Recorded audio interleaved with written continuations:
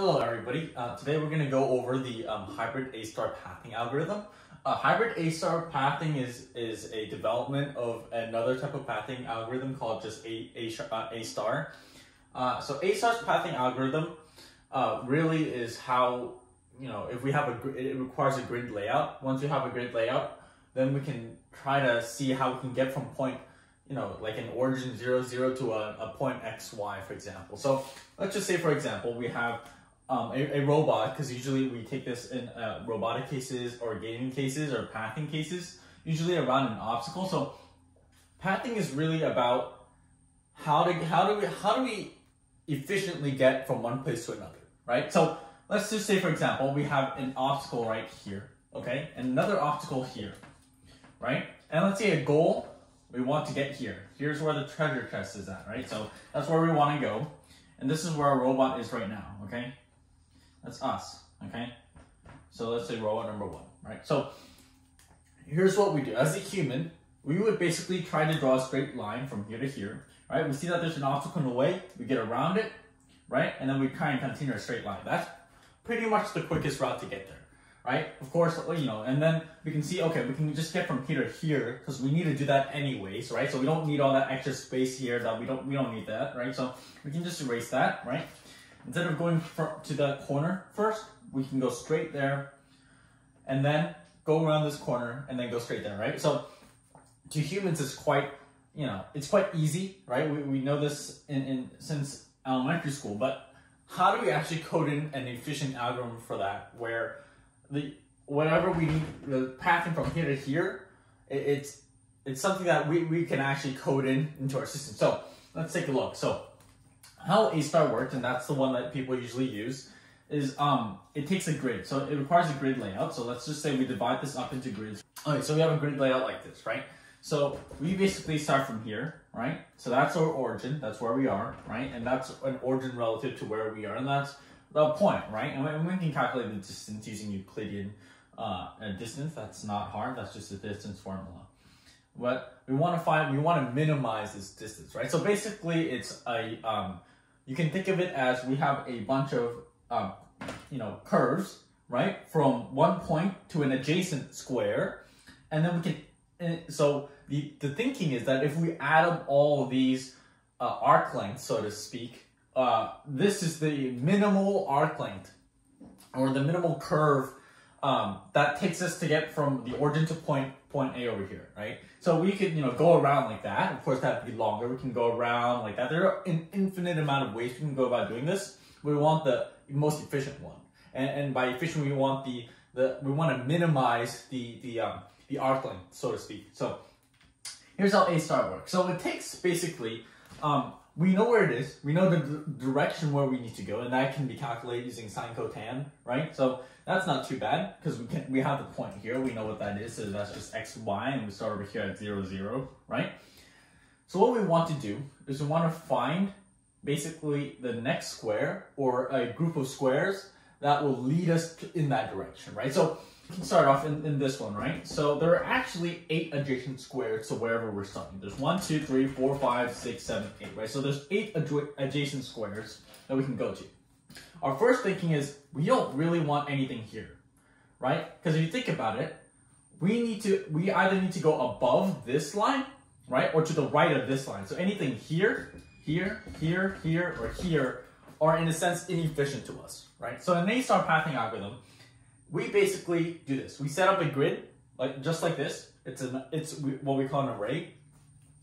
And so we find, okay, this is the direction. We calculate direction, right? Like sine cotan, right?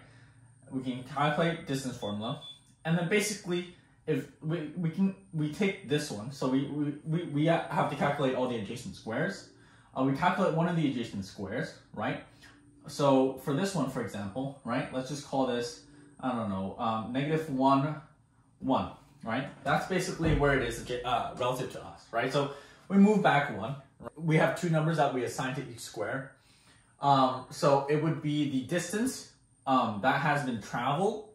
Uh, and so for this, in this example, it'd be root 2, right? So that's just distance formula, right? So distance traveled, root 2. Um, and then how far is this from that, right? So we basically say, okay, that would be what, x? Um, so some point, x minus, so here, let's actually assign a point to these. Let's say that's what, 1, 2, 3, 4, 5, 6, 7, 7, uh, 1, 2, 2, 1, 2, 3, 4, 5, 6, okay, 7, 2, right? So this is 7, 2. Right, so that point is 7, 2, so we know that, okay? So what we do here, right? So that's just, um, now calculate the distance from uh, our goal to this one. And that's basically what we call our weight. So we do 7 minus 1, so that's what, 8 plus um, 3 uh, squared, gives us 9, so it's root 17, right? So that's the cost, that's the weight of this square to that square, right? So, okay, so that one is for negative 1, 1. And likewise, our intuition tells us that this is not an efficient square. So I just wanted to show you guys. So let's say, you know, what's an efficient square? Let's calculate this one, right? This one seems the most efficient to us. Uh, 1, 0, right? Calculate the distance from here, right? That'd be just 1, right? And then distance from that, there to there, so what? 7 minus 1, 36. That'd be what? Root 40, right? Right? So as we can see from here, right?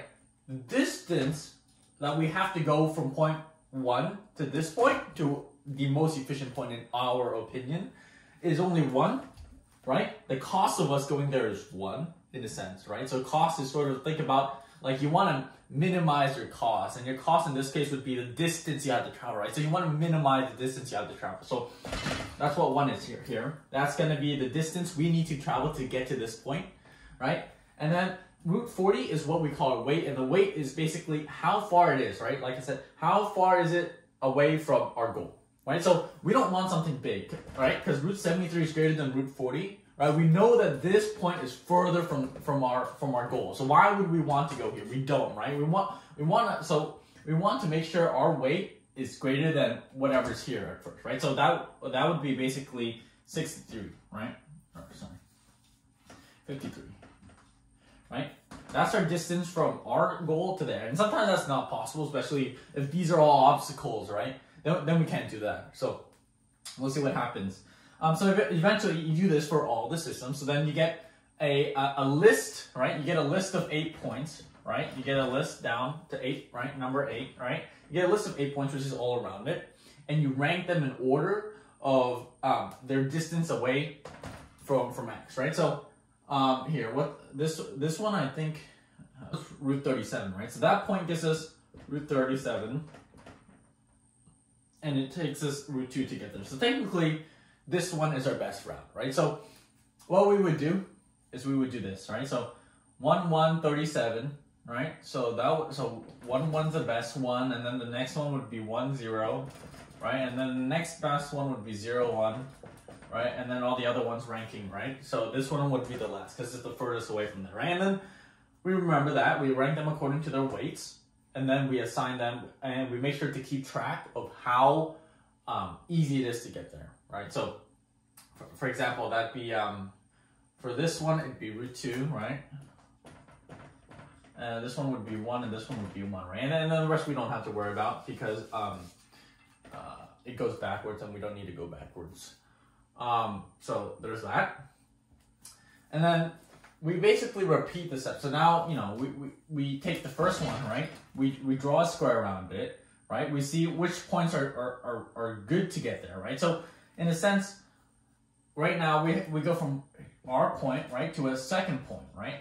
To either number one, right? So 1.1, right? 1.2, 1.3. Those are our three possible, we say, good points, right? And then what happens is, you know, you, you, you continue this, right? So that would be like, you know, eventually then you get the second point, right? So there might be another one here, right? And then, you know, this one also has 1.21, right? And so that could be the, the best for the second one, and then etc. etc. right?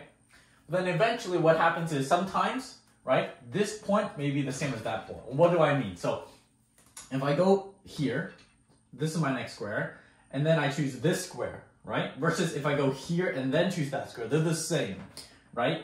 And me, you know, what happens is that to get to this square, it's actually more beneficial to go from just just two places to the right instead of going up and then going down again. eventually what we get is for that point there, we get the best possible path. And that looked like a list, right, of paths, right? So we have a, a list right here to get to this one, right? And eventually what happens is you start to build your way across, right? You, you'll try to go here, try to go here, all the way there. But then you cancel these out because these are getting further away from your point. They're going in negative directions, right? They're increasing your distance away unless you, you know, you can go here like a, like a radius circle but then when you try to go somewhere else, then it'll just cancel out eventually. So basically, in the end, you'll get a pathing, you'll get a list that comes up, for example, here, you'll also get a list, and then eventually it'll converge onto your goal, right? So then what happens is you get the, the so you add up, so as you go through the um, each point, right? So let's say for this point, right? The easiest way to go through would be here, right? And then here, here, and then you'd probably go something like diagonal and then up, right? That's the fastest way, or, or this one and then this one. It makes no difference, right? And what happens is that you'd get the best, you, you, you'd add all these up, right? So that'd be like 1 plus 1 plus 1 plus 1 plus root 2 plus 1, right? That makes sense? And then you get basically, um, you, you sum, sum all your arc lengths together and you get a total distance to travel to get to that point. And eventually you get to this point and you'll be left with a list, right? of points where um, the distance, so if we sum our arc length, right? So that's just an integral over here. Since they're, this, they're discrete points for now, right? If we sum our arc length, um, S, um, it should be the minimum, right? The minimum possible one. So we won't find anything that goes up here like that. We won't find anything that goes around like that. This should be the fastest and quickest route because our arc length, our summation for the distances that we need to travel, our cost is, is the lowest. Right? So we can rank this in a priority queue or anything like that in coding. Um, that's what A star is about. And now we'll be moving on to our next session.